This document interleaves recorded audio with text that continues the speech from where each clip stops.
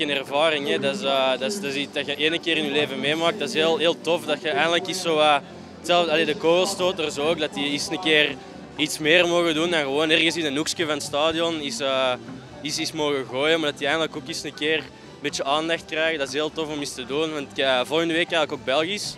En het was eigenlijk niet, van, niet, niet het schema niet meer om nog wedstrijden te doen. Maar zoiets als deze, dat is, dat is onvergetelijk. Dat kunnen we niet, niet laten liggen.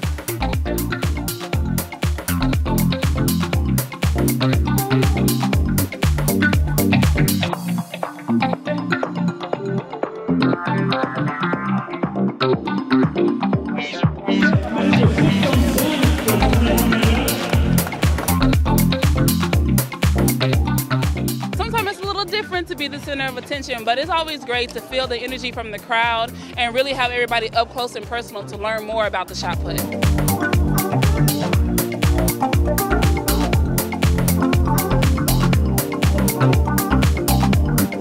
It was a great competition today. Uh, it was a great crowd, and everybody had great performances, so I enjoyed today